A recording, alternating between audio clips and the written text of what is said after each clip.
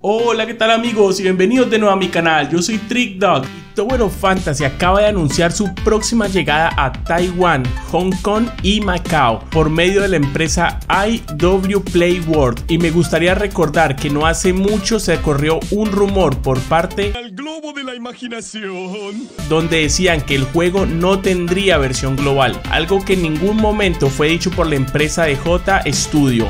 Esto lo aclaro para evitar confusiones. Dicho esto, continuamos con las buenas noticias. Gracias a este nuevo patrocinio, Tower of Fantasy ya cuenta con página de Facebook, canal de YouTube y una nueva página oficial donde ya podemos ver la llegada a Google Play y la App Store. Y esto, mi brother, serían los primeros pasos a una versión global. De hecho, si en este momento nos dirigimos a TapTap, la versión en inglés, ya podremos ver que está habilitado el preregistro del juego con su respectiva publicidad. Así que váyase preparando porque próximamente podremos realizar compras en el juego y olvidarnos de las ID chinas. Y justo ahora le envío un saludo enorme a todas las amigas y amigos del Discord. Gracias por todo el apoyo y siempre estar. Y si quieres jugar Tower of Fantasy todos los días realizo transmisiones por Twitch con todos los compas del gremio. Los links del Discord y Twitch estarán en la descripción del video con las páginas oficiales que acabamos de ver, o mejor aún por el canal de Trick Dog YouTube.